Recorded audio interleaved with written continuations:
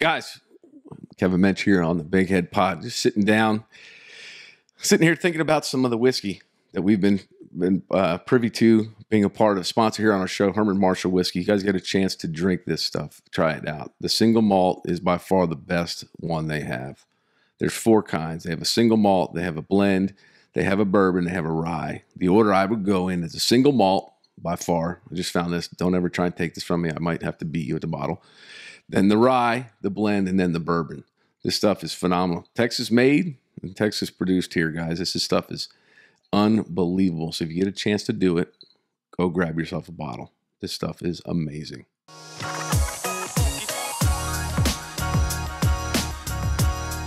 Yeah, welcome to another edition of the Big Head Pod here on the Dub Network. Today's guest, a fan favorite for my favorite team growing up, spent a lot of time in the city of brotherly love, two time gold glove winner, World Series champion, and all around guy. You see him, he always seems to have a smile on Mr. Larry Bowa. Larry, how are you, sir? I'm doing fine, Kev. How are you doing?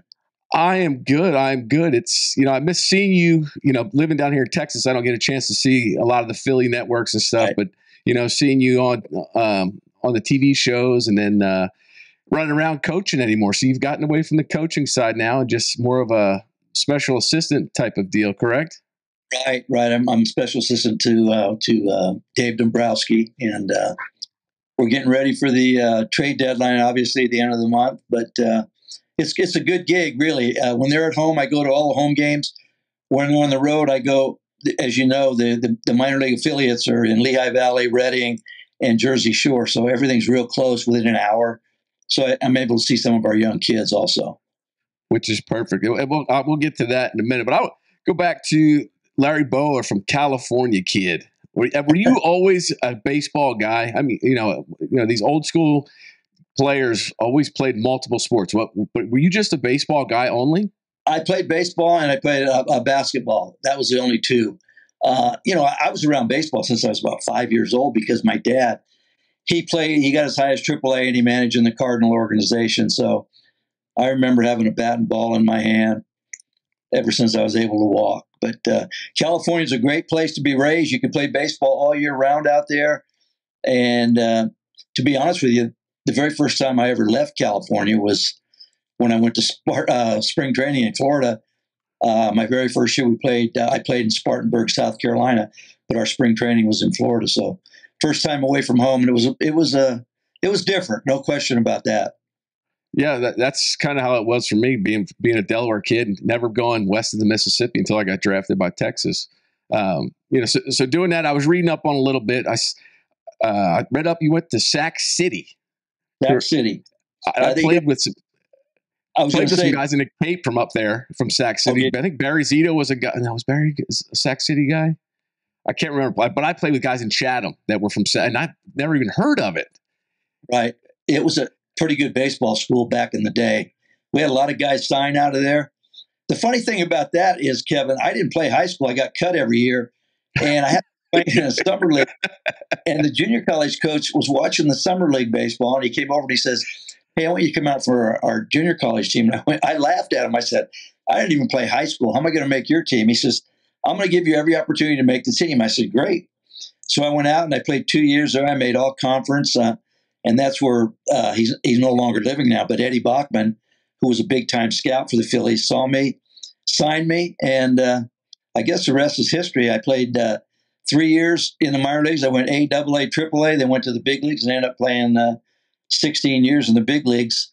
Uh, didn't get drafted. Went through the draft, no draft, no high school ball. But you know, I try to tell young kids if you, if you really believe you're good enough and, and you have the desire and the want to, go after it, man. Just go after. It. You never know what's going to happen. I know it's a little bit different now with the analytics because if I was playing now, I wouldn't even smell the field because I don't analytic out. So uh, it's a different game now. But I was, I was, uh, I had the opportunity to play.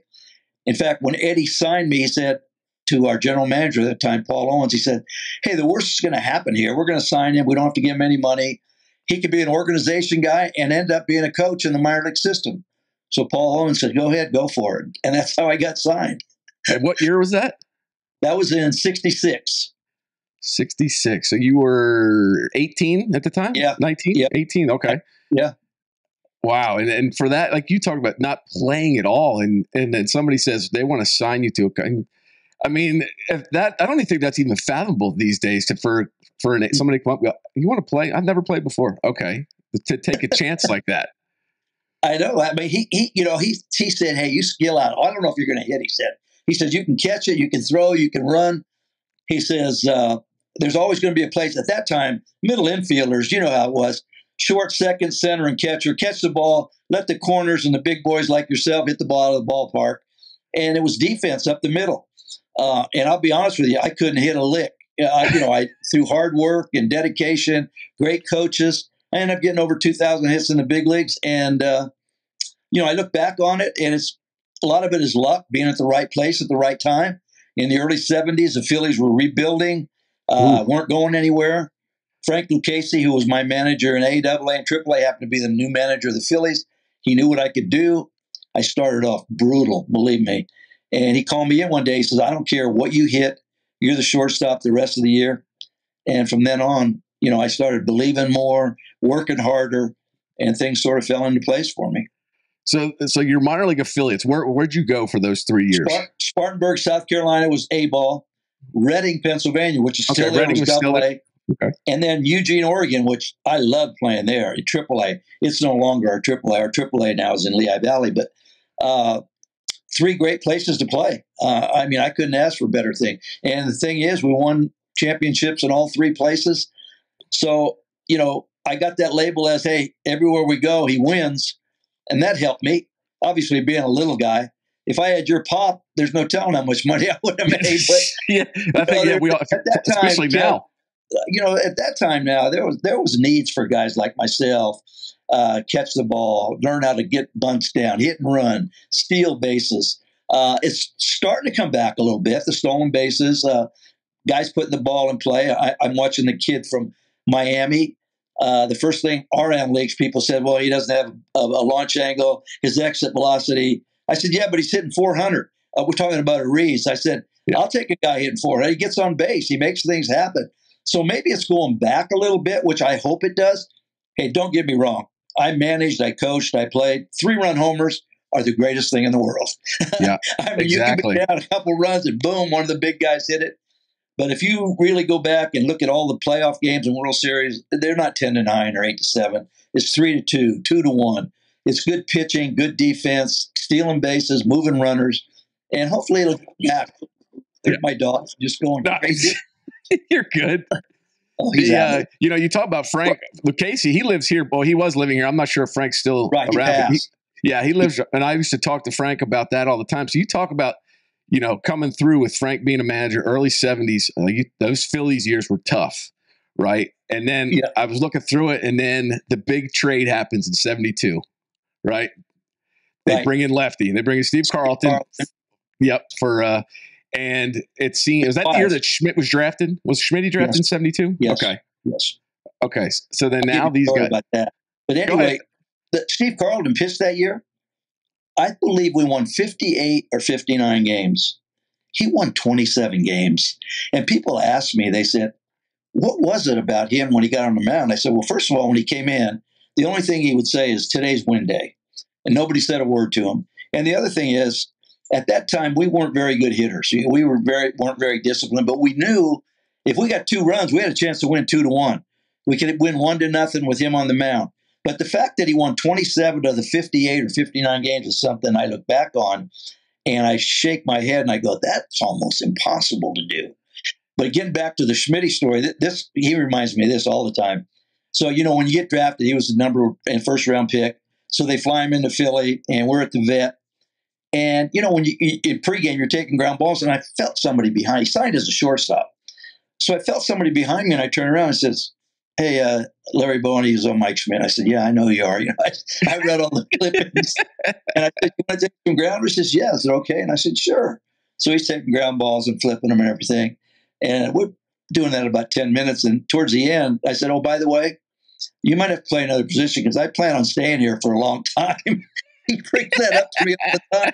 And to this day, I tell him, I said, you, should be glad because your knees might have blown out playing short. You went over to third, greatest third baseman ever in, in baseball, him and Brooks Robinson. But uh, he relates that story to me all the time. He said, You remember that comment you made to me? I said, Yeah. He said, Did you really mean that? I said, Believe me, Mike, you're the first round pick. I felt my days were numbered when I saw you take BP, take ground balls. So it was just false bravado at that time. and Schmidt's a very kind of down to earth guy. He's not very, very low key. I mean, but he's has a smile on his face, and you see him, and it's just been. he's my favorite player growing up as a kid. As a kid, um, and seeing that. But I got a chance to meet him and sit down. Even I had a chance to sit down with, with Steve Carlton, just talking. But hearing him talking, like you said, just that demeanor that he had, What about his business, right? and you're playing in a tough city at this point, right? And I think that hurt Schmidt a lot because everything he did, it came. You put a ball in his hand, it could be golf ball, bowling ball, football, basketball. The greatest athlete that I've ever seen. As soon as you, you go bowling, he bowls 250. You, uh, and he goes golfing. He's a scratch golfer. But I think the city here thought that he was too aloof. His first year, he didn't hit 200, but he hit. You could see the pop. He had 20 home yep. runs. This guy's good, and he had a great glove. But they interpreted that aloofness as he doesn't care. And believe me, I lockered right next to him for the whole time. He cared as much as anybody that ever put on that uniform. But I think things came so easy for him that the fans, you well know, Philly fans, they want to see that dirt all over your uniform. They want to see you throwing a bat if you punch out. And Schmidt wasn't that kind of player. And eventually they warmed up to him, but it's almost like it was too late. It was the end of his career. Now they adore him every time he, he takes the field. He gets standing ovations. He comes back for alumni weekend. Uh, he had a, just he had a great career. He was a great guy to play next to. I was very fortunate. I really I look at it. I had three Hall of Famers. I had Schmidt, I had Carlton, and I know Pete Rose isn't in there because of various reasons, but he's taken four over four thousand hits. That yeah. speaks for itself on what exactly. he did. That, yes, he deserve he definitely deserves to be in the, in the right. hall. And like and that group, you know, you talk about going through this the '70s teams where the struggle, and then uh, boom, Dallas Green pick comes in, Delaware guy comes in, right? I don't know. The Carpenters had owned the team at that that mo that time yeah, as well, right? great owners. Yes. Yeah, I know David and Bobby because they went to school with my brother at Delaware. So yeah, I knew Ruly for a while. Yep. So those guys come in. Did they did they trade for Rose? I don't remember. Was that was he a free agent? Okay. Free agent. See, we won. We won in 76, 77, yep. 78, and we were short. And there was something missing, Kev. You know, you, you when you're on a team, and we all came up together in the minor leagues. All yep. the, the core group: Booney, Bull, me, and Schmidt we learned how to win together. And then in the early 70s, we were getting our butt kicked. We learned how to lose too. But there was a missing ingredient. And, um, you know, Ruly even said to us, he says, What if we get Pete Rose here? And of course, all of us said, We played against Pete. In fact, uh, in the playoff games, we lost to two great teams out of the four playoffs the Dodgers and the Big Red Machine. So we got a first hand glimpse of what Pete's all about. We said, You ain't going to get Pete Rose to come here. And he said, Well, we might. And lo and behold, they got Pete here, and he was like the missing part of the puzzle. And of course, Dallas bringing his demeanor. We had Danny Ozark, who was very low key, great guy. He got us so far. Then Dallas came in. You talk about different personalities. Yes. Wow. And he rubbed some guys the wrong way. He didn't bother me at all. Because if he wanted to yell at me and say, hey, you got to get this done or blah, blah, blah, I went out and did it. But we had a couple guys that were a little sensitive and they didn't know how to take him. But I look back, and Pete and Dallas were the two guys that, to me, gave us that little push to take us to the World Series in 1980. And that just, I think, through that that, that late 70s, early 80s, those teams were just typical Philadelphia blue collar teams. I mean, like you talk about, you talk about, you talk about Bob Boone behind the plate, right? Just right. a blue Pete Rose. This, I mean, everybody goes the Pete Rose slide. You know, you, you know, Schmitty, um, I'm trying to think of our the, the outfield group. Bake McBride, uh, Gary Maddox in center, yep. Manny at second, Luzinski and left. I mean, we we could be one. We could be eight seven. We we had good defense. We could steal bases. We had really a, a real good team that could beat you in so many ways. But you know, we kept coming up short, and then finally we got that thing going, and uh, that city was the last month and a half there was off the charts, and then the parade and everything. Unbelievable. You, but you guys were doing it the right way. You were doing that. That small. You know, you talk about the bunt and hitting guys. You know, moving guys around, doing so. Right. Guys that could play defense. I think I remember the people who say if the Earth is covered, three quarters of the Earth's covered in water, who covers the rest? Gary Maddox. Yep. Yeah, he was he was unbelievable.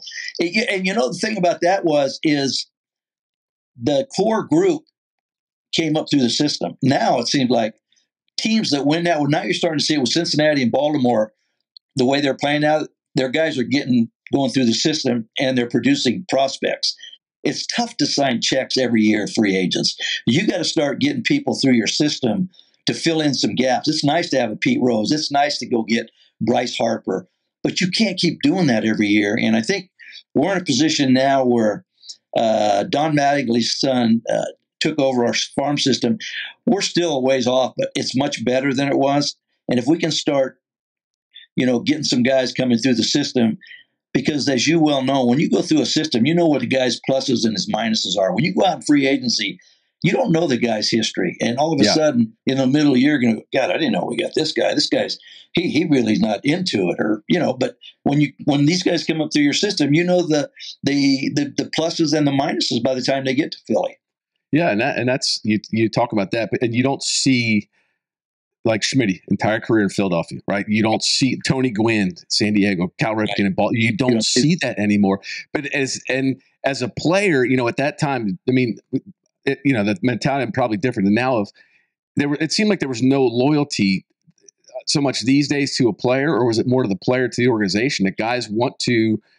I mean, look at Bobby Bowe deferred his contract just so they could go get other guys. The, I mean, we don't see a lot of that. I mean, was that even something feasible when you were playing? A guy deferring a contract or or anything else to help? You know, when we played it, and again, it's a lot different, but the fan base here knew about all the prospects before we even got here, so they could relate. They could go to Reading and watch us play. They could go to uh, uh, uh, Lehigh Valley now and they watch these guys play, so they have a feel of what the players are like. But at, back then, in the mid from mid '70 on, guys wanted to play in Philly. They knew it was a tough town to play, as you well know. It's a tough city. You oh, know, yes. you, it's the greatest feeling in the world. But when you do bad, you got to you got to man up. If you make an error, if you strike out three times and you get in front of that camera, you got to say, you know what? I had a bad game. Hopefully, it doesn't happen again. Don't make excuses. It's a blue collar city. These people go to work at seven in the morning, come home at five at night. They want to see effort. And I try to tell our young kids if you give effort every night, I'm not going to say they're never going to boo you, but by the time you end your career, if you do it consistently, you're going to be on their side. There's no doubt in my mind. Yes, and I and you know how the media there can can destroy oh. a player just like that, and it's because you know you've seen it just being around different sport guys running their mouth about the media in Philadelphia, right. and I, my first thought is you've just put the nail in your coffin because you don't do that. You sh- like you said, you show up to work every day. You put in, hey, you're gonna have bad days, right? If you endear yourself to that city and understand, that's I always tell it's that Rocky mentality. You're gonna get knocked down, but you get back up. You keep fighting, right? So, I mean, you're spent that. You know, you've like you talk about how bad it was for you early in the '70s, and now all of a sudden you guys get to the World Series, right? And and now you're you've you've built this now, and th- and that just it, but it was seemed like it was cyclical, right? That late 80 or early 80s, the Eagles were struggling in the early 70s. Now right. they're they're playing. They're going to play Flyers that just won a few Stanley Cups, right? right. Sixers are in the final. So and now here you guys are, and like you talk about a time to be a Philadelphia sports fan in that 80s era. You were a, a, among that. of, you know, those four teams you named, they all got to the finals. We yep. were the only one on it. Sixers yep. got to the finals. Eagles got to the finals. Flyers got to the finals. And you talk about a city that there was no time in between, you know, usually in between sports, they can complain about, oh, this team's bad. They didn't know what to do. Every team was was successful. And, you know, you talk about manning up. Go back to Alec Bohm, if you remember mm-hmm. when he says, I hate this place. Remember, uh, in fact, it was, I think, in Boston. We were playing an interleague game. He threw a ball away, got booed. He went, I hate this place. The next day, he came out and said, I was wrong. I was it was out of uh, I, I was frustrated. I wasn't playing the way I should have. I apologize. Now every time he comes up, he gets these big ovations because he manned up. If he'd have hid and said, and that that video would have been out every time he went bad, that video would have been shown. But now they they treat him like, hey, he's one of the guys. Yeah, and and and you're right. It's and you think about it, everything is right there on Broad Street, Broad and Pattison. Everything is right there. It is, and, and it's and that's the beauty of it. People ask, I said, you don't have to go anywhere. Everything is on one block, and that pa- and the sports passion you, you, know, as a fan base, you look at a lot of these teams, regardless, you know, win or lose, but they're they tend tend to be forced more to the north. The fan base is there. You could be bad, they're going to show up. You're good, they're going to be there. You know, it's not the thing to do. Some in some of the right. places in the South, it is that way. Like I said, so you've been around. You've been, you know, you know, after you're done uh-huh. playing, you go manage. You're coaching. You're in L.A. Right, coaching in L.A. and seeing. They, they come in the third and leave in the seventh. Yes. So, but they come out, but they don't. You don't very seldom see booing. You don't see booing in St. Louis, but you go to Philly, New York, Boston. I'm telling you, you're under the microscope. And the only thing I can say to these guys that come up is give 100%. That's the easiest thing to do is play hard. The Other stuff's hard. It's hard to hit it. It's hard to catch it. It's hard to make pitches. But the easiest thing to do is effort. And if you do it on a consistent basis, day in and day out, eventually you're gonna you're gonna win them over. Uh, obviously, you know you have to have some ability. You got to be there a while. But if you do it the right way, they're going to eventually like you. Yeah. So you get out of you know you finish playing it, it was your first thought to go, I want to go coach. I know you talked about before that they said you could be an organizational guy and coach. I mean, so, you know, when you're done playing, you, you know, you, you finished, was it 85? Uh, 84. 84. Yeah, okay. 85. Okay. Yeah.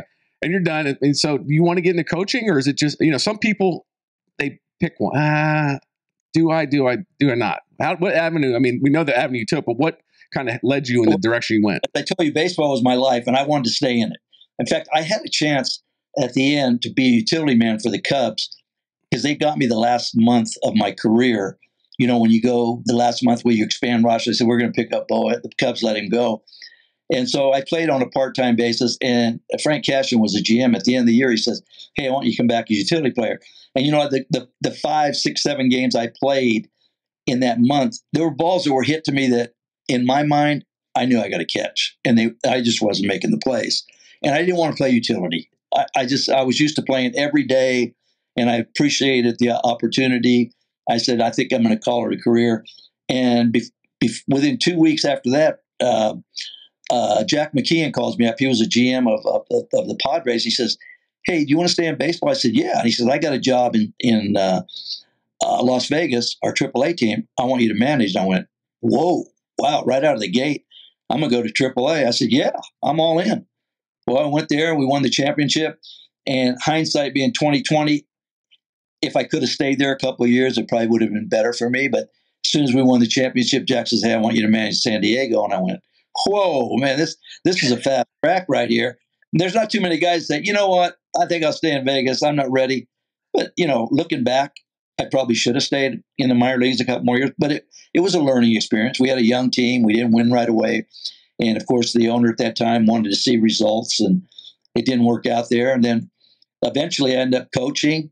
And eventually, the Phillies asked me after Terry Francona got fired here, and nothing against Terry. Terry's a great manager. They, they had a bad team. I mean, they were losing 100 games, 98 games. And Eddie Wade, who was uh, the GM, he says, um, what are we going to do? We got to change the attitude here. He says, these guys are used to losing. They're getting too used to it. So they brought me in, and in 2001, 2, 3, and 4, we played 500 every year.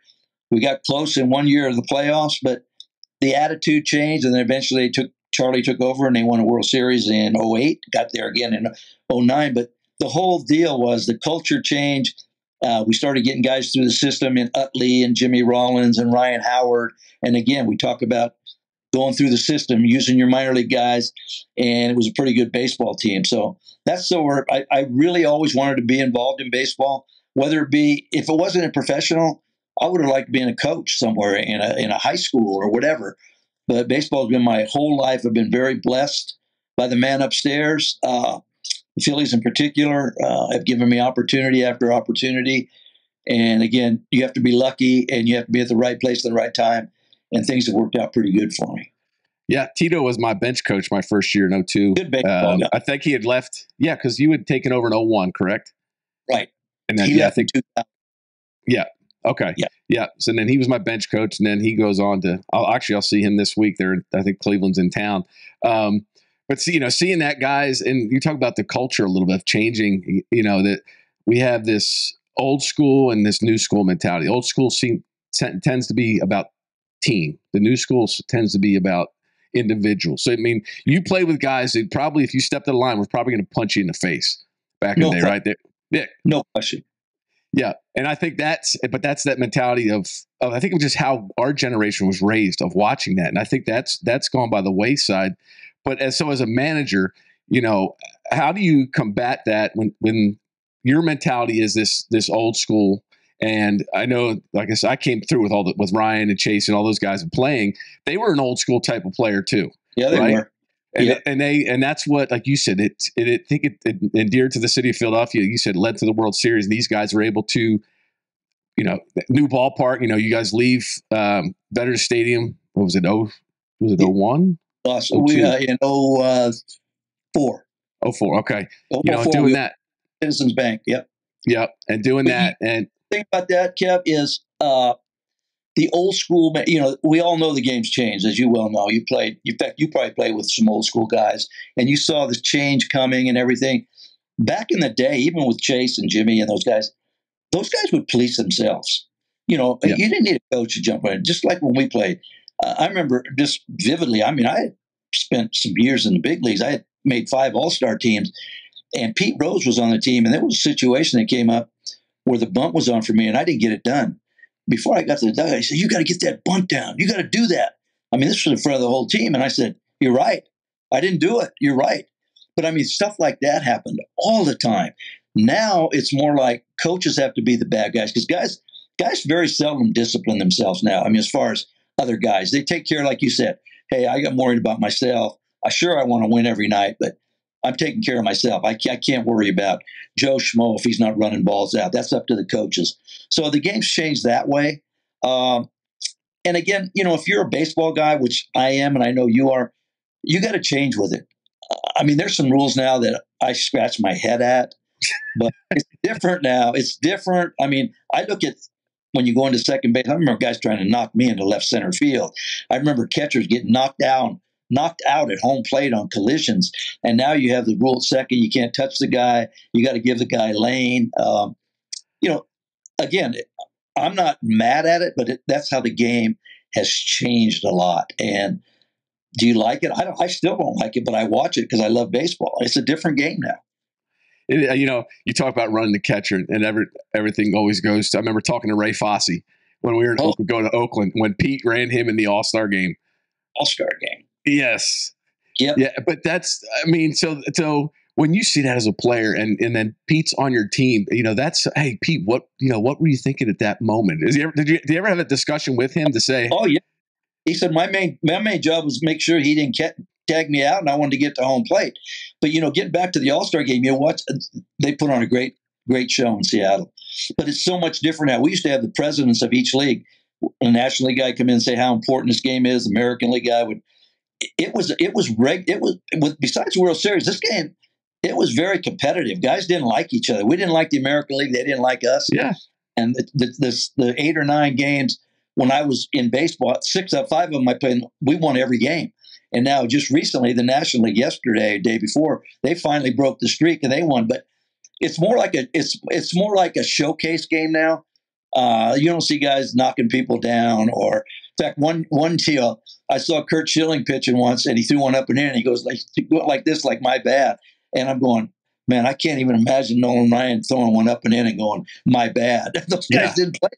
It was just yeah. the mentality was different. I mean, I'm glad I played when I played, but I, I do respect the players playing now. They're fast, they're strong, they throw hard, they're fun to watch. But the, the way the game is played is a lot different than when we played.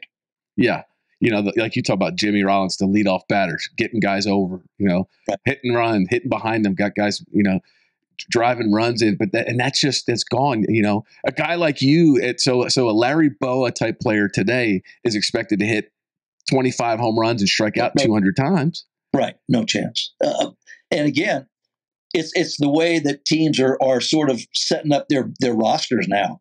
But I look at, at Miami and I watch that team, and I've watched them a lot because they're in our division. They always had pitching, but they couldn't do anything. Now I'm watching them play. They're putting the ball in play. They're moving runners. They're sacrifice bunting. And Schumaker's done a great job with that team. I don't know what they're going to do in the second half, but their pitchers are throwing well. I watch teams like that. Then I watch I watched the World Series when, when we played Houston last year. I see guys laying down bunts. I saw hit and runs. I saw stolen bases. Now, all of a sudden, when you play 162 games, we don't do any of that. But now, when it gets down to the nitty gritty, we're, we're doing everything. And just like the, the ghost runner at second base, first of all, but we put a ghost runner out there all year. But now, when the playoffs and World Series start, we don't have a ghost runner. We play the game, which I think. I mean, you saw the Seattle game last year. What was it, 18 innings? Seattle and Houston in a yeah, playoff, and Houston won one to nothing.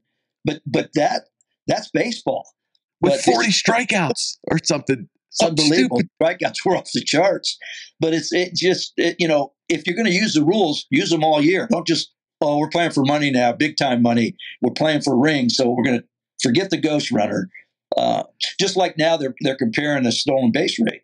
It should be high. You only throw over there twice. If you don't get them, they're gone. Let Rickey Henderson, guys, Rickey Henderson, Vince Coleman, Lou Brock, let them play under those rules. They'd have 200 stolen bases every year. And that's what I said the other day. They're still, it's yeah. a pizza box. It's 75 feet between bases. Of course, this guy's with De La Cruz, the guy from the Reds, are talking how great yeah. he, I said Rickey would have uh, 60 stolen bases in his first 15 games if that's how you played. See, and then you put the oven mitt on, you got bigger oh. base. How many times is it bang bang on a throw to second? They got a bigger base, they got the oven mitt, and the guy doesn't throw the guy out. So there's so many. It's just so different now. But don't compare. I, I hear these these sports guys. Oh, stolen bases are up, and I'm going. They should be. They should be way up. But uh, don't take away what guys back in the day did, like Rickey and Lou Brock and Vince Coleman, uh, guys like that. Don't take away what they did because what they did was something very special, and it was a lot harder to do. Yeah, for sure, and I and, and I get that. You know, you just but you you want you talk about like the purity of the game, the the records and the rule picking off these guys. It's I, we had to talk about this the other day about players are not reactive. They're not proactive. They're reactive. They almost have to be told what to do. They don't let their instinct. But you think about it. You see it, guys in the dugout looking at a computer, an iPad. How, so, as a player, how did you learn best? Would you have been on the iPad, or would you would actually have conversations with people in the dugout? We would have conversations. Guys would uh, guys would be in the dugout saying, "Hey, you know, when this guy throws a breaking ball, watch his glove; it's going to flare a little bit." But it was always watching, and even the guys that weren't playing every day, they were on the bed. They weren't upstairs. They were watching the game, trying to get an edge. Uh, but like you said, now a guy makes an out, and right away they go to the iPad. Uh, when I was coaching, we started having the iPads and everything, and I remember a guy coming in and uh, the hitting uh, the hitting coach at that time was Matt Stairs, and we had no information on on this guy coming. He got got called up. We don't know what he threw. We didn't have the the advanced stuff they have now. And the guy, what does he throw? I got to know what he throws. And Matt says, watch him warm up. He's going to go fastball, curveball, changeup. Watch him warm up. They turn their back to him. Now I watch these guys and they look at the iPad. A pitcher is when he's warming up, coming out of that bullpen. He's going to tell you his pitches. He'll go split. He'll go changeup, slider you don't you don't need all i mean sometimes i think that information's great but i think sometimes as you well know overload can kill you sometimes. You you start thinking up there oh this guy never throws a fastball and the count's 2 and 0 he's 90% breaking ball. So now you get up there and you're thinking okay i'm i'm not even looking i'm not even looking fastball. You're looking breaking ball the guy throws one down the middle him and goes how can you take that pitch?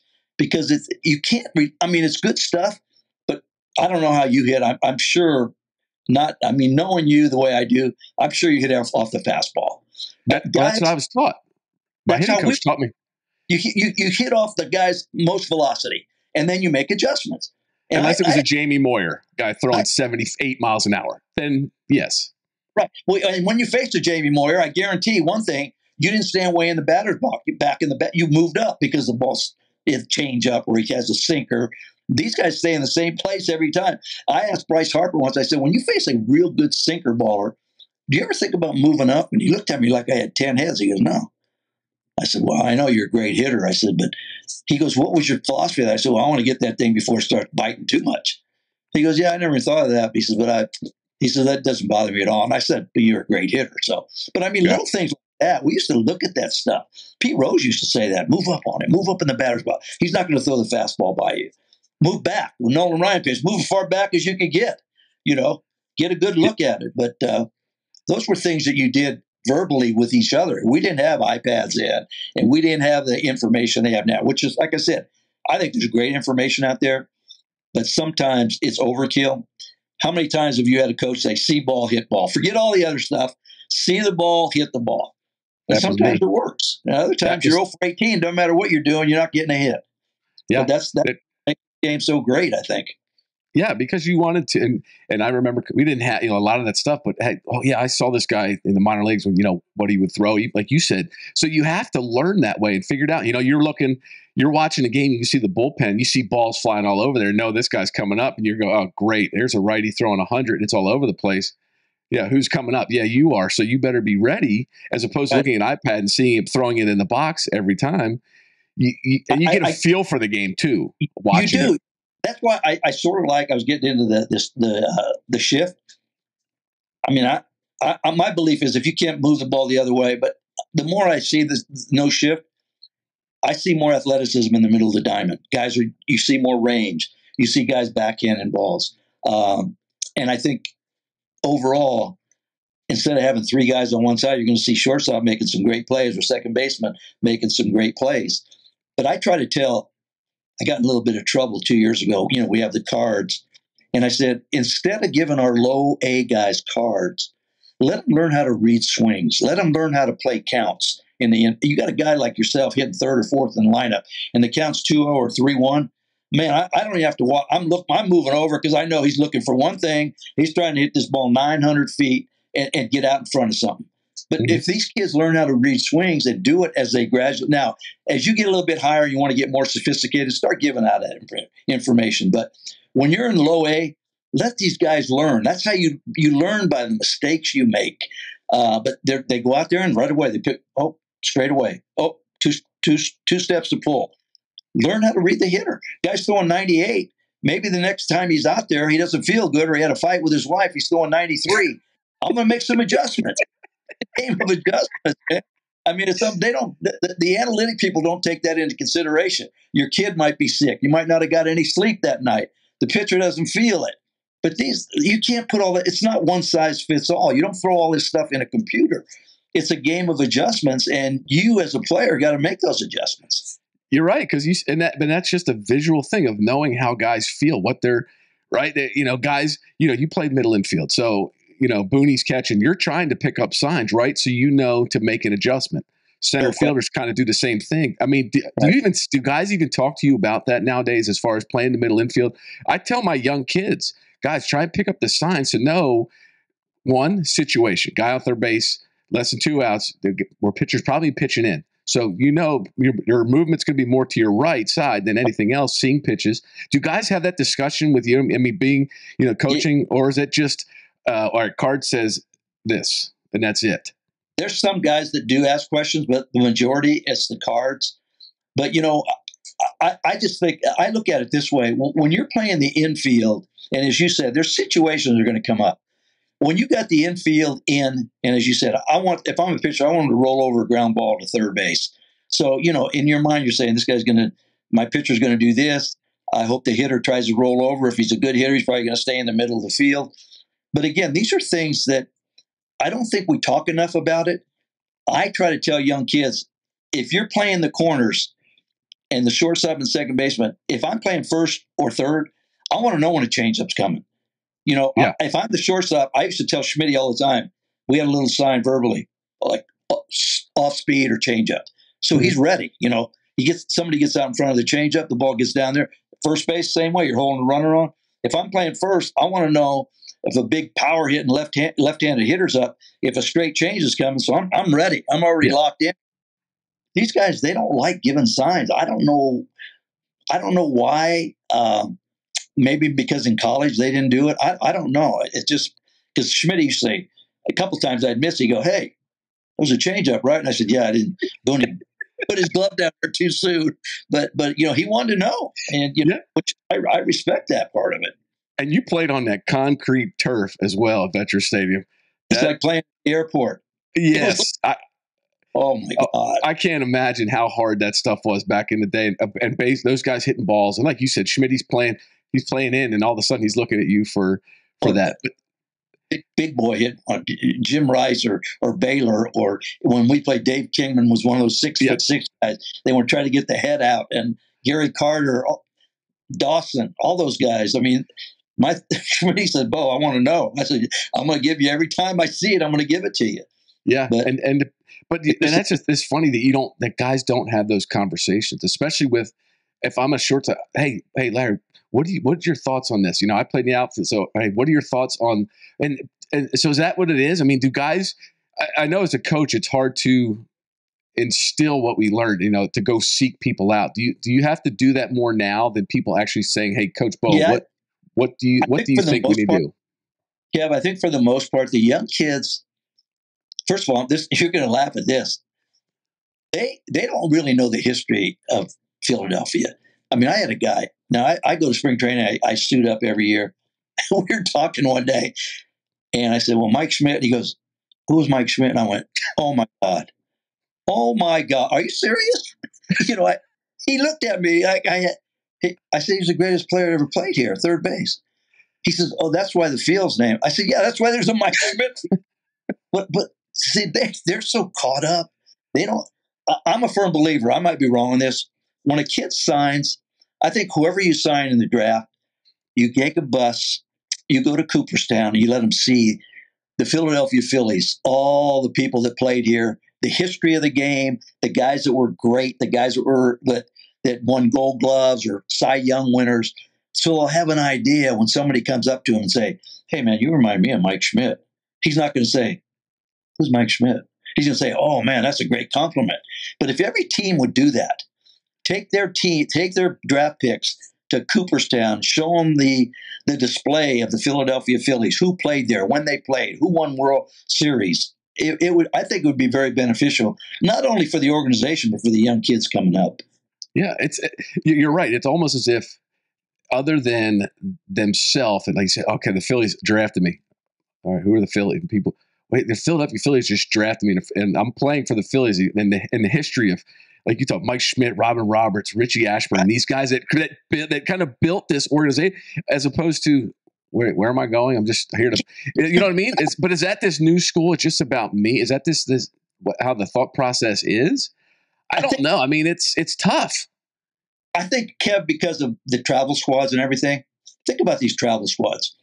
They don't teach guys how to win. When you go to a travel game, they want to see your skills. So they want to get, they get everybody in right field and I'll throw throw the ball as hard as you can to third base. The guy's throwing over the cutoff man, but the guy goes, man, that's some good arm strength. And they get in the batter's box, they're lifting and separating, trying to see how far they can hit balls. They they don't teach them the intricacies of playing baseball, the fundamentals of playing, playing baseball. It's the eighth inning, and you're hitting fifth, and a guy just hit a double. The score's tied. Hit a ball to the right side. I'm not asking you to bunt. You're a big guy. Try to hit a ball at least one or two strikes to the right side. Get the guy to third base. Uh, who was the guy that I was talking to? Uh, it was just recently too. We were. T- it was about the shift, and God, I forget the kid's name. We were talking, and and Bobby Dickerson, who was the infield coach now, a great infield coach. We were talking to him. I know who it was. It was Scott Kingery. Scott Kingery. Bobby says, uh, if it's the seventh game of a World Series, this is for all the marbles. The man in front of you just doubled. Scores tied. Can you hit me a ground ball there? And he looked at him dead serious. Says, "No, my swing, my swing will not allow me to hit a ball there." And Bobby says, "We're going for a ring. We're going for the best team in all of baseball, and you can't push a ball over there to get this guy to third. He says, "That's not the way I swing." And I'm going, "Oh my god." But I mean, that's the mentality of I'm not changing my swing. That's why this kid Reese, the reason I like him, you know, if you watch these, a lot of power, not all of them, they got a groove swing. And if those pitchers hit where that groove swing is, they're going to hit a long way. Yeah. But this kid gets the barrel to the ball no matter where it is. It could be up, it could be down, it could be in, it could be out. Same with Pete Rose, same with Rod Carew, same with Tony Gwynn. They have that ability to get the barrel to the ball, not just one swing, you make adjustments. Counts 0 and 2. I'm battling. I'm spreading out a little bit. I'm letting the ball get a little deeper, but that barrel is going to get to the ball. And I think there's too many guys now that go for that groove swing. They're going to hit their 35, but a, a, great example is Joey Gallo. This guy's got as much pop as anybody. Oh, I've seen this guy hit balls a mile. But it, it's uh, there's three things that can happen with this guy. He's going to strike out, he's going to walk, or he's going to hit a bomb. He's a good outfielder, a real good outfielder. But but now the mentality of a lot of these general managers put teams together, that's what they want. So if you're a young kid coming up and you know you're going to get paid buku money to hit balls over the fence, they don't care if you strike out as long as you get your walks. Hey, if I'm a young kid, I'm gonna say, man, I'm I'm, I'm gonna try to make some money playing in the big leagues. It's just the way the mentality is right now, and a lot of these GMs now, that's what they like. And I think we're starting to get to go back a little. I don't think it's ever going to go back all the way. I mean, you still want your big boys in the middle of the lineup to hit yeah. balls in nine miles, but uh, it's it's just it's a different philosophy now. Yeah, and you talk about the fundamentals. That was something that seems like you took to almost personal. You know, high, almost one of the highest fielding percentages ever in the National League with what you did. So, and and you like I said, now you watching today's game I see fundamentals are, are out the window. So how much does that eat at you to sit there and watch somebody where I mean, I, I used to hear stories about like Ozzie Smith taking ground balls on his knees, not even looking, just flipping. And these, and now it's what five grounders, and I'm done. I mean, oh, how do you sleep at night watching this? Is what I want to know, Larry. Hard because because uh, I'm going to tell you right now, fundamentals. You you watch base running is horrendous right now. I never seen I've never seen base running mistakes like this. But see, the difference, Kev, is I had to do that or I wouldn't have played. I had to do little things. And my dad always said, You're never going to be a strong guy. You're going to have to move runners, lay down a bunt, steal a base, make good plays. So that was embedded in my mind since I was able to pick up a baseball. You have to do this or you're not going to play. Now it's if I hit 300 or hit 30 home runs, eh, if I don't, if I'm not good defensively, it's okay. I'm going to put some runs on the board. Or if I'm not a good base runner, no big deal. A lot of games are one running the bases. I mean, it's unbelievable how you can win baseball games. Looking around, seeing how deep the right fielder is. A guy hits a ball by the first baseman. You shouldn't even pick up a coach. You know you're going first and third. I tell the guys when we're coaching with the Phillies, when you play at Wrigley Field and that ball's hit to the right side, the grass is this high, don't even look. Just go to third. Don't even look. You got to know the ball's going to stop because the grass is so high. And if you're playing on AstroTurf, it's going to be a little bit different. You got to pick up the third base coach. There's so many things. Getting secondary leads uh, with two outs and, and and at second base. Guys should never get thrown out at home plate if you have a good secondary lead. So you see it happen a lot. So, but again, it's the philosophy, and it's not it's not important. That part of the game is not important anymore. And until we start making it, when I say we, I'm talking about all of baseball, until we start making that a priority, you're going to still see stupid base running mistakes, guys missing ground balls, not knowing how many outs there are, throwing to the wrong base, missing to the cutoff man. These are all things that help you win baseball games. And again, do I love 300 homers? Manager, coach, player, I loved them, but they don't happen every night. You got to find ways to win games besides three run home runs. Yeah, and that's that's especially in the postseason, right? These short series, you've got to figure out ways to, to get runs, put runs on the board, and do that. And that's it's just completely gone, right? And, like you talk about that 17 inning game, I saw a couple guys get walked to leave. Somebody bunt. I don't care do you want to stay here all night? Just somebody figure it out. I mean, but that's what I mean. It, it almost as if, oh, well, then it's going to hurt. It's going to hurt my statistics. My numbers are going to be this. But I have a high WAR or whatever the hell these statistics they're throwing out there these days, because that makes me that makes my dollar sign go up because I have a higher no WAR. Question. No, question. but but you know, you know, putting the, the ghost runner out there. I understand if you're the visitor, sometimes one run's not going to get it, so you don't put a bun on. But when that team doesn't score a run in the top of the tenth, and you got the right people up there, like maybe your big boy like Harper or, or Bohm or uh, uh, Castellanos aren't hitting, but the, the guys towards the bottom, get the guy to third base. All we need is a run. But the analytics say the percentage of guys scoring with a man on third, one out isn't that good. So, and, and the other thing that gets me on that, again, I like a lot of analytics stuff, but there's stuff when they tell you an out's an out.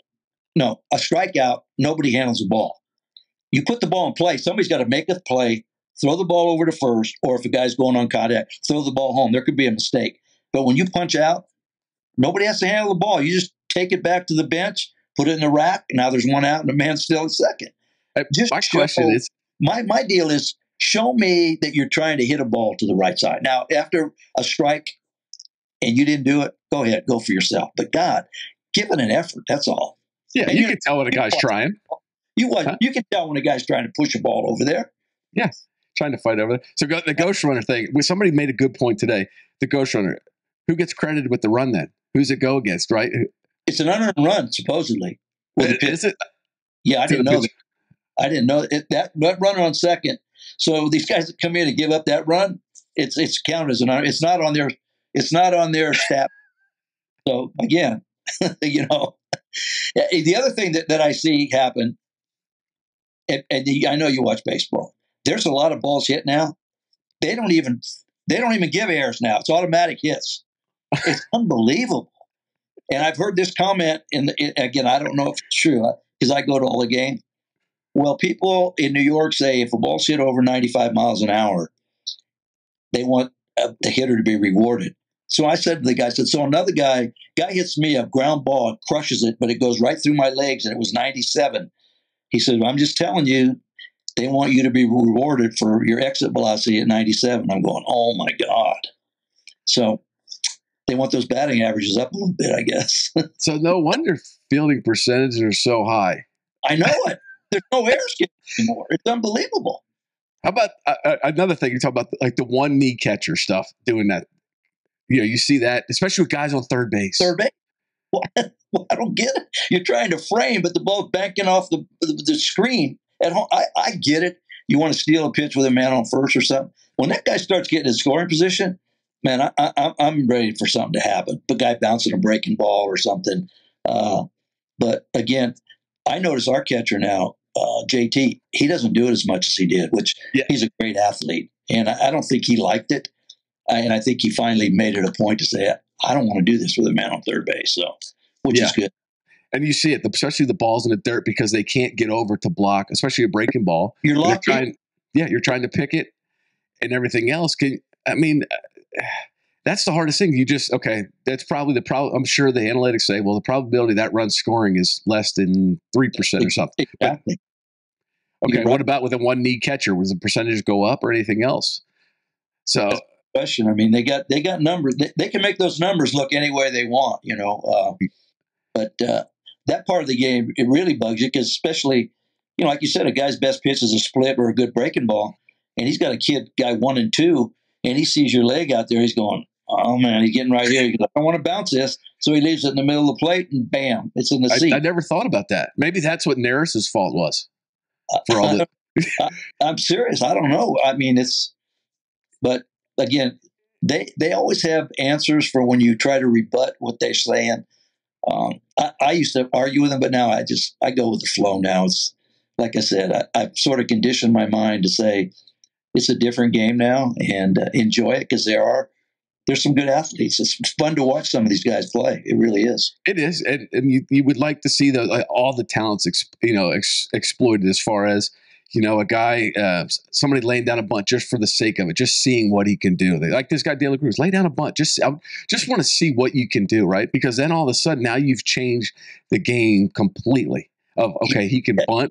You plant can- that seed, and you got the infield, the third baseman playing instead of playing twenty feet behind the bag, he's even with the bag. Now you get semi jammed on a ball hit to his left, it sneaks through for a hit, but they don't, they don't, they don't think that far ahead.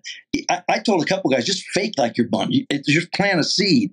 You move the guy in a little bit. Now you, you don't get the barrel to the ball, but you get a ball between third and short. Or if he's back twenty feet, it's five to three, and you're you're heading back to the bench.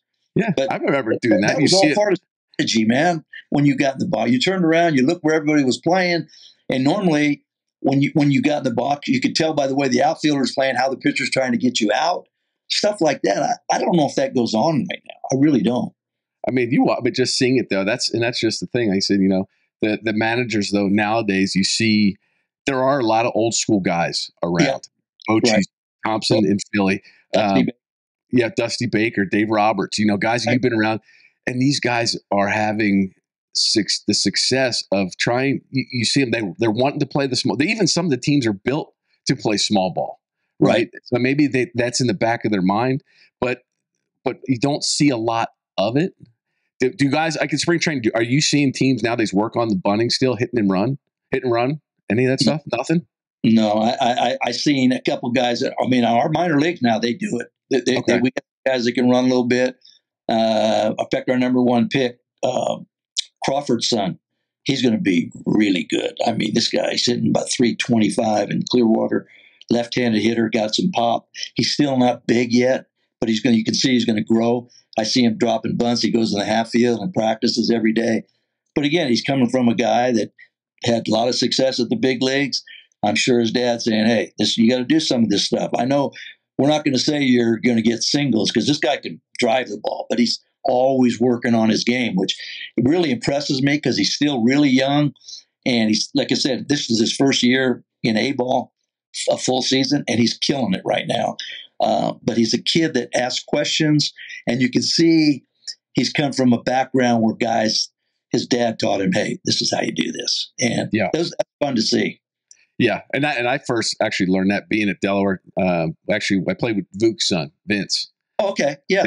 Vince came down, you know, and and and Vuk would come down and, and talk and just see. But you could tell how Vince carried himself. Um, yeah. Even when, when Francona was there as well, coming down and just being able to actually to see these guys and being around. You're right though, the, the people that around, especially that played minor league ball, even they played in big leagues, played AAA, all the you know, you kind of see that and you get to pick up that feeling of understanding of, of what it takes, right? Because okay, if I act that way, all right, they were just that close. What do I need to do a little bit better?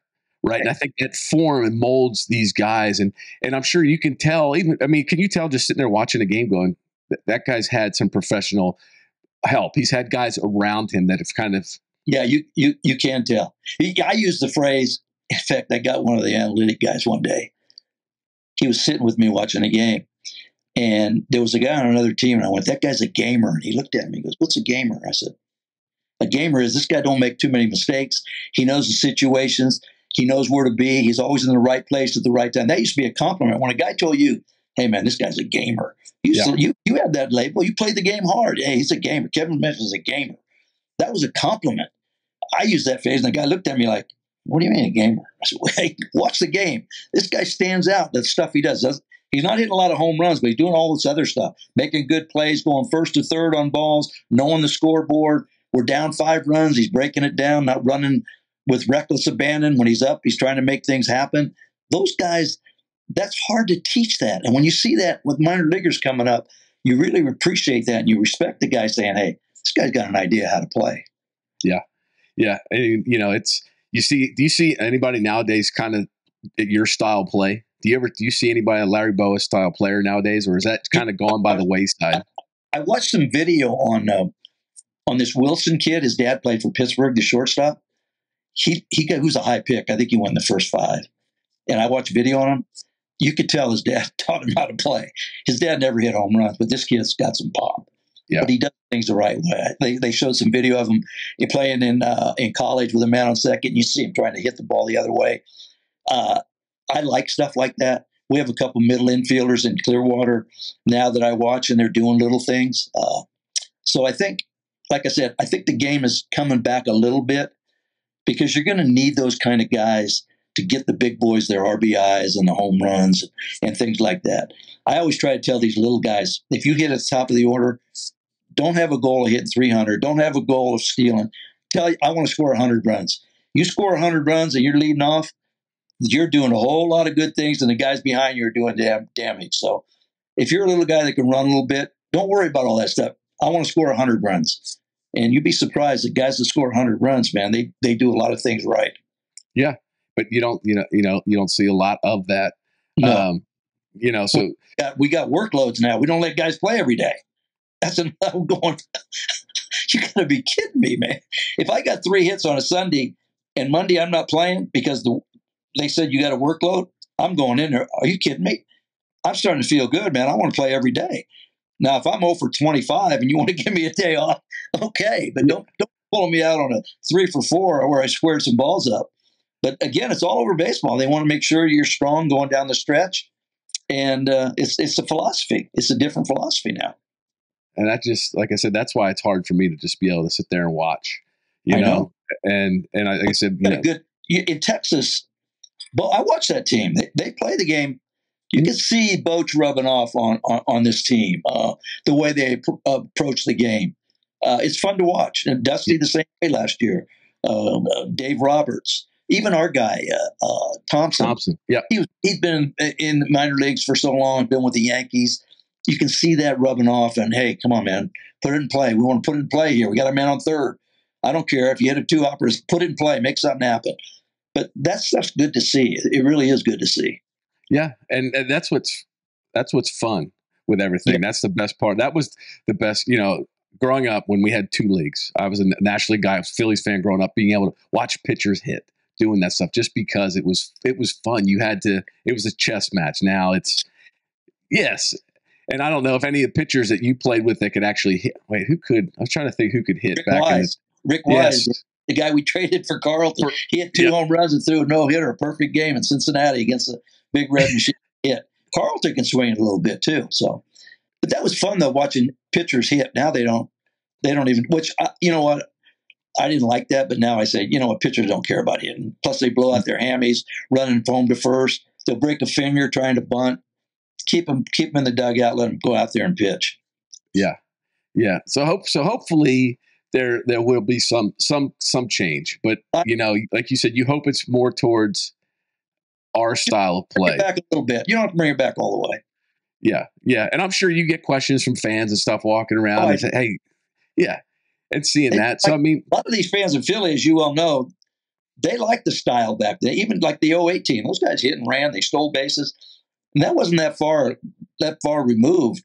They like that, and I think you're going to see it with our team. You saw it last year, the second half we do a lot of stealing bases, and, and we got some big boys that if they get hot here, we, we got a chance to be back where we were last year. So it's going to be fun the second half. Yeah, for sure. With the trade deadline coming up and everything else. So I mean, but you're and I, I, I, had a, I was on a show earlier. We talked about the dog day. Here, here's the dog days. Here they right? are. It's, it's yep. six weeks of you can see the light, but and this is what's really going to separate everybody. Yep. So the Phillies are what sitting in third place right now. Yeah, we're in third place. I think we're a game out of the wild card. I okay. don't think anybody catch Atlanta. I mean, I'm not saying you can't. They're hitting on all cylinders right now, but I think we're going to be a easy, not easy, but we're, we're going to be in the wild card. And as you well know, it's not how good you're playing. It's not who you're playing. It's how good you're playing. And the Phillies last year, they caught fire, man, at the end. If we can do that again, and you got Wheeler and Nola at the top, who knows what can happen? Yeah, and depending on what you know, what, what moves they're going to go out and make. I mean, you exactly. could be the best team in, in, baseball. I mean, look at the best team in hockey. The Bruins were out in the first round of the playoffs because of oh. because of a wild card team in, in the Florida Panthers. So I mean, it's you know you you, you know with, with everything. Yeah. So is is uh is Hall back now? The lefty yeah, Hall's back. Uh, okay. He got some big time pop. Yes. You know, like Rhys Hoskins. People don't yes. realize. Got get on base good guy, good guy in the clubhouse, works hard. When he gets hot, man, he's hard to get out. I think they really appreciate what he did because he hasn't played all year. He blew out his knee, so yeah. hopefully help him. Uh, I know he's a free agent. If we don't sign him, someone's going to sign him. He's a good kid and he works hard, and uh, he's big bat in the middle of the lineup. Yeah, yeah. I had a chance just when you guys were in town uh, opening day. I just talked with Bryce, right? Oh, that's right. Yeah, because we were. T- I talked to him a little bit about just you know, what, he's like, I'm not, is he going to rehab? He goes, no, I'm just going to come back. And um, is he actually throwing yet? I haven't seen, I haven't seen just DHing still. Yeah, uh, he. You're talking about Hall? He's, he's oh, no, Harper, no Harper. Is is Bryce back oh, throwing? The the rumor has it they've been away now. That after the break, he's supposed to play first base. We're going to see. We're going to okay. see. He's been taking a lot of ground balls over there, so we need him out there because then you can get Schwarb off his feet and let him DH. Yeah. When Schwarber DH, and he's dangerous up there. But yeah. he's he's played every game, man, in left field. It's tough. Oh, I'm sure. It's I've seen he's struggling a little bit right now with yeah. it, but yeah. you know, I you know I trust. You know, Chicken Head was my hitting coach in the Arizona Fall League. Good old Kevin Long was my hitting coach. So. Oh, yeah, to talk with him and stuff. Yeah, yeah. So, so seeing that and, and getting those, it looks, it seems like Castellanos is going pretty well right now too. Is. So I like our team right now. I really do. Stott, uh, Bohm. Uh, we'll get we'll get uh, our shortstop going a little bit because he's a lot better than a 250 hitter, as we all know. So, yeah, it'd uh, be fun to watch. It was. You know, I remember in the beginning of the year, it, it, it was a struggle watching some yeah. of those games. Oh, gosh. It sort of reminds me of this year. We, we, we start playing better the last four weeks, but early in the year, man, we were struggling. But now it yeah. seems like we're hitting on all cylinders. So, yeah. So you get what, about two weeks trade deadline. So there'll be, it'll be interesting to see what happens here. There's a lot you know, of guys. Dave, Dave's going to yeah. make what he can. So, yeah. Absolutely. So, so it'll be interesting to, to see. And uh, like I said, you're getting ready for to start this second half and, Yeah, and be fun. everything else. So yeah. Um, but like I said, I, I appreciate you jumping on today, Larry, and having uh, I appreciate it. Thanks conversations and talking about this. And like I said, we'll uh, we'll definitely have to if I get up into town, come up come up to a game or whatnot. But Oh, you're good. living in the area, enjoying it and stuff. Oh, so I'll be um, glad. Great. so, but yeah, man, I, pr- I appreciate. it. Like I said, good luck to your Phillies, and maybe we'll have a Rangers Phillies World Series. That'd be great. That'd be year. great. Yeah, absolutely. All so, but thank- I, I appreciate it. Thanks, Larry.